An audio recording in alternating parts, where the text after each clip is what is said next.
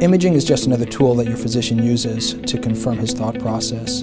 You can do something as simple as taking a blood pressure and doing an EKG. You can do something called an echocardiogram, physical images of the heart as it's beating in the chest, looking at overall heart function, looking at heart valves. If someone tells you you have a murmur, this is the test that you want to get to help you diagnose what that murmur actually is. So the different imaging studies for cardiology really are used depending on what the patient's complaints are and what the physician's concerns are.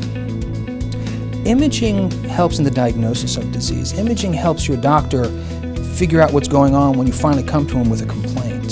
Imaging is a tool that your physician uses. It's not really something used for, for prevention. Imaging is, at its most basic form, a science. It's something that you, as a geek, can wrap your brain around. Not to say that I don't like the patient interaction, but I like physics. I'm a geek at heart, and I enjoy sitting in a dark room looking at grainy pictures trying to decide what people's heart function is like.